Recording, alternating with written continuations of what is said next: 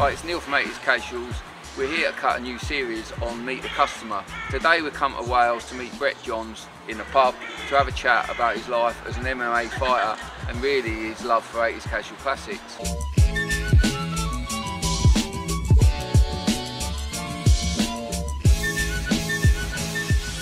We're here today with MMA fighter Brett. So Brett, tell us a little bit about yourself. Grew up in Swansea, big Swansea City fan myself. I've been collecting sort of 80s casual gear for about seven, eight years now. I, I was inspired by 80s clothing by films, and like I said, still collecting to this day. Have you got sort of styles you wear for different occasions or, you know? Ritual of mine on, on Christmas to to wear my um, Sergio Tacchini Orion top, but the full the full tracks on Christmas, you know, because oh, right. there is Christmas. Okay. So that was inspired solely because of obviously the film in 2009 uh, Yeah. with um, with Paul Anderson and Calum McNab wearing that. And the fact that I sell it to him. And you, yeah, yeah, the, But- shop, the, yeah, the shopkeeper. Yeah. it up.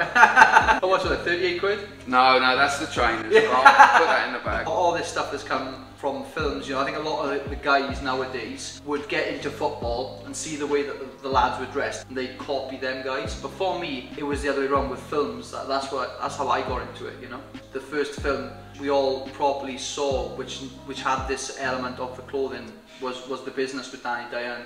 The Nick Love films with the business, the firm. I guess what you could say was you could watch the film and then if you liked something, you could go on a certain website, Yeah. a certain website, and um, you could go and buy that track top, and, and that's what I loved really about it. And um, every single time I'll watch them films, you'll you'll instantly see me go on on uh, 80s casual Okay. classics to, to pick something up, you know. The business set in Spain. I've seen you wear the shorts and stuff. So there's a particular time for for that, really. I love the, the short shorts. Unfortunately, I do need a better tan wearing the short shorts. I was a 90s baby, so I wasn't even involved in the 80s at all, but the sort of collection that I've got is based off people like yourselves, opinion on the 80s, and a lot of other guys, like even some of the football lads in Swansea with me, have their own outlook on the 80s, and I try and match it up as best as possible, you know.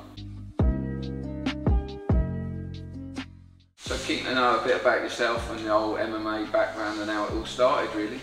I was four years old, started judo. I was, I was quite, I think my mother said I was quite a painfully shy kid. I'd have a problem with a couple of the local bullies as well, you know. My mother put me in for like the self-defense element, and I did judo from like four to 16 years old. Right. Did, did, did okay on a regional level. And at the age of 16, I found MMA, and uh, I went to my first house party. Quite different, There's elements of judo in the sport. Right. You know, mixed martial arts or MMA or, or UFC. You're wrestling, your judo, your Brazilian jiu-jitsu, Yeah. and it's mixed in with your taekwondo, kickboxing, boxing. It's all mixed in. And judo's like an Olympic sport as Yeah, well. yeah, yeah, judo, freestyle wrestling, and I, I, I think that was my that was my main goal was to head to 2012 Olympics. Obviously, yeah. But then the closer I was getting to 2012, man, I, I was miles away. I was absolutely miles away, and that was the point where I, I discovered MMA, and that was the, the, the switch over then from judo Yeah. into mixed martial arts. You know, I wanted to do mixed martial arts for one sole purpose, and that was to win a belt. I think everybody would love to win a belt. Yeah. It's quite a cool thing. And I won my belt after five amateur fights, and I thought, do you know what? I'm quite good at this. I've, I've been good at many things in my life, Neil. Not many things, and. Uh, So is this a local club?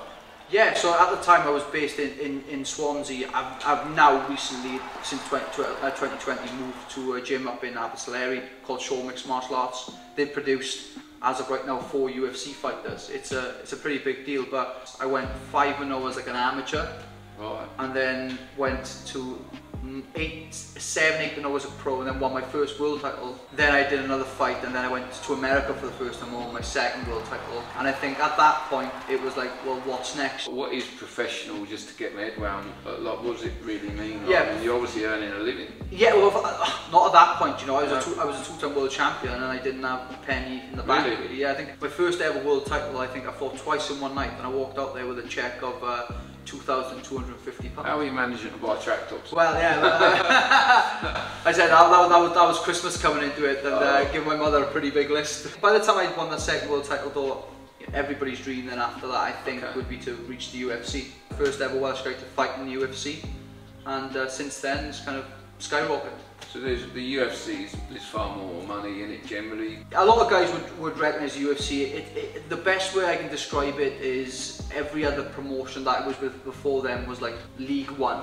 Right. and then the UFC would be the Champions League. I'm at the stage of my life now where I'm 31 years old you know, and I'm thinking, Yeah. What's next? I think I'm going down the, the route of coaching. I don't know that yet, but I feel like that's where you my... You've done a little bit of coaching? I have, yeah. I've, I've coached a few guys and uh, they, they're doing fairly well, you know, and it's, uh, it's something I got a passion for. I'm also doing a little bit of refereeing now and then, so I think I'll have some sort of involvement in the sport, um, even when I retire.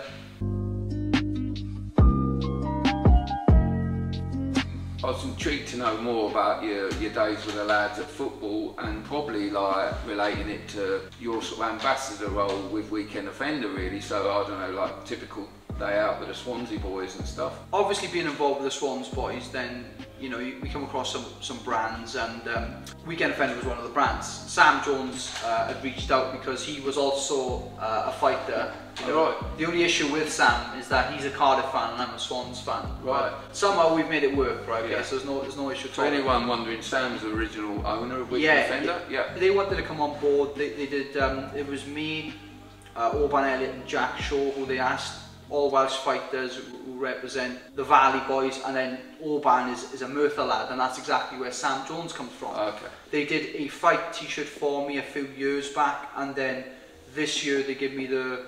They sort of said, look, you can go and design your own shirt and see how it gets yeah. off, and I inspired my, my weekend offender shirt on the the, the Napoli uh, home kit. I think it was the 91 to 92 season. It sold out within I mean, two we, weeks. we've stocked the brand on and off for years, but honestly, whether lockdown, whether but the last two or three years, they just nailed the whole T-shirt thing, whether it's football, music, and we've certainly got that customer. So that, it's been amazing. And then the jackets, just like they've just nailed it on the sort of below 100 quid level, you know. And we just sell a, a load of it, decent looking coats at good money, you know. Football away days for me is, a- is a big thing. It's, it's kind of like my little break away from. So you like a small gang, big gang, bit of both, or Yeah, bit of both. Yeah, you know, um, the Close boy, buddies. yeah, the boys that I go away with. Again, the people who kind of inspired me into into 80s gear. They, they're they're mostly older lads. I think I'm one of the youngest of the lot, really. You know, we've been on plenty of good little away days. You know, some I can speak about, some I can't speak about. But a notable one for me would probably be Millwall away, uh, 2018. Fantastic little away day. Um, you've got a nice picture of you on that? yeah, I think so. Yeah, that's the one with the with the, the nice little uh, police thing behind me. You know, we had a man sent off about seven minutes in,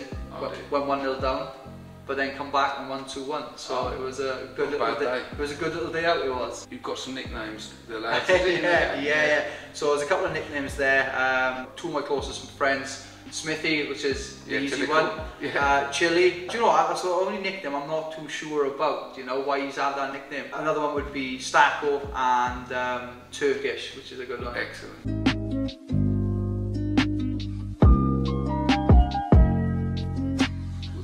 Down to the uh, town called Malice launch, Nick Love, and uh, we both turned up in our gold elite Theodore, which obviously is the ultimate casuals trainer. I know you got to wear Nick Love, uh, meet Nick Love even, not wear Nick Love. You're a big fan, it's inspired you, so um, how was that for you? Firstly, thank you yeah. for inviting me up there. You know, um, some people nowadays struggle to find their identity, but for me, my story with identity is, is definitely influenced by Nick Love and the, the films that, that he's made, you know. My top five films, Nick Love has directed, produced and written in three of them, you know what yeah. I mean? So um, and to meet him for the first time, I think a lot of lads would have heroes like, you know, for example, your hero is Probably Keegan and Dalglish. Yeah, Uh, yeah. And was probably one in the early days. my hero growing up would probably be Nick.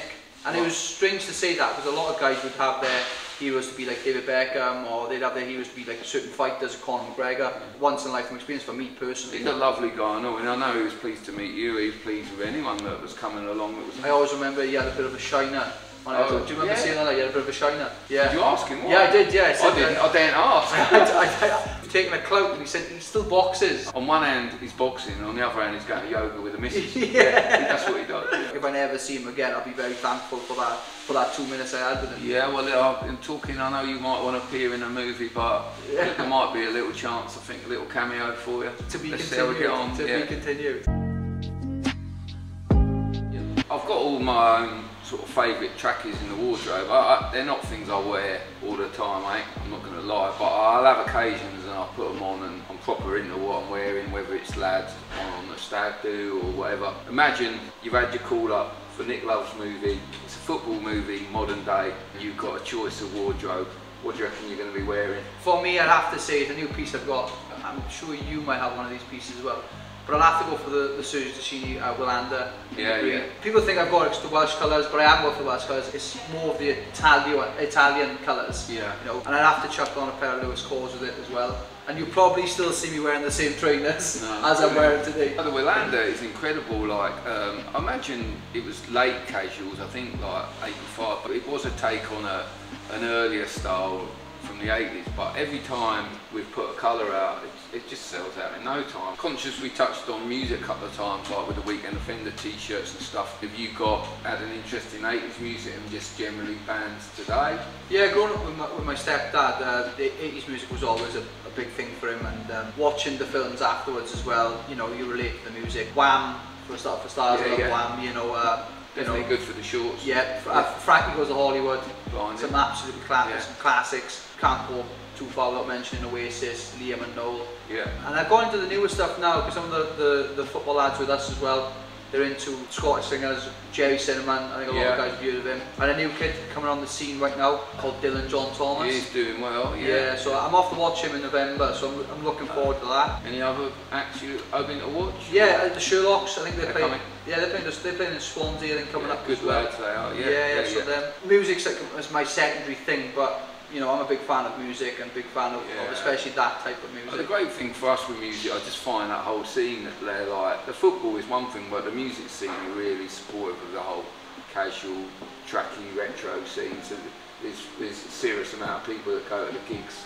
in the clothes. Yeah, yeah. a band that I'm, I'm fairly close with, they've supported uh, Liam Gallagher, Nebworth, Pastel, so yeah, they're, yeah. they're they're doing really well as well. I think they're on, on tour currently. Right, Brett, proper made up. You've come for the first series you know, meet the customer, grateful for you coming today and bringing some bits along and all the stories you've had to tell. And all the best in the future, mate. Thank you, man. Thanks for everything. Thank Excellent. you. Thank you.